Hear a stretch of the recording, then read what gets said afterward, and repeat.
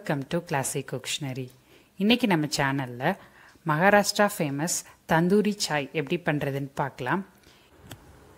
இந்த டீ பண்ணுறதுக்கு half cup தண்ணியை பேனில் சேர்த்துக்கலாம்.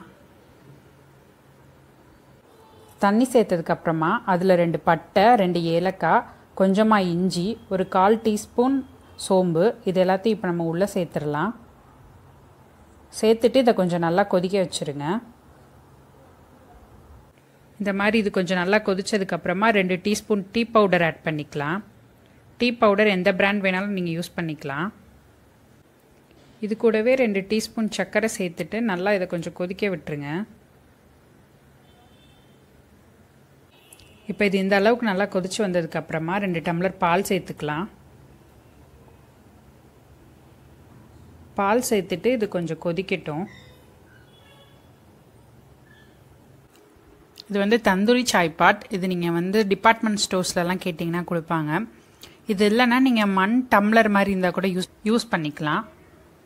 டீ கொதிச்சுட்டு இருக்கும்போதே நம்ம இதை அடுப்பில் வச்சு நல்லா சூடு பண்ணி எடுத்துக்கலாம்.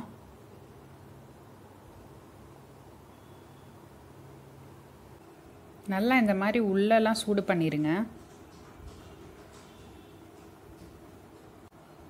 இப்போ டீ ரெடி ஆயிடுச்சு. நம்ம டீயை ஃபில்டர் பண்ணி எடுத்துக்கலாம்.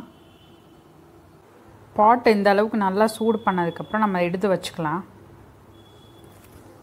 இப்போ நம்ம இந்த சூடான பாட்டில் டீயை ஊற்றிக்கலாம் இந்த டீயோட ஹெல்த் பெனிஃபிட்ஸ்னு பார்த்தீங்கன்னா இது உங்களுக்கு டைஜஷனுக்கு ஹெல்ப் பண்ணும். அப்புறம் நோய் எதிர்ப்பு சக்தியை ரொம்ப அதிகப்படுத்தும். உங்களுக்கு இந்த டீ வந்து ரொம்ப ரெஃப்ரெஷிங்காக இருக்கும். இப்போ நான் உங்களுக்கு இன்னொரு பாட்லேயும் செஞ்சு காமிக்கிறேன்.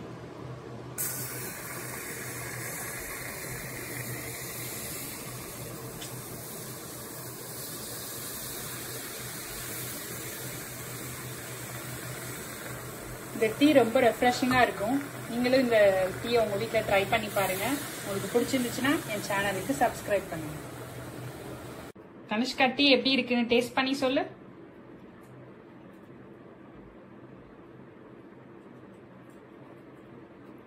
சூப்பரா இருக்கு.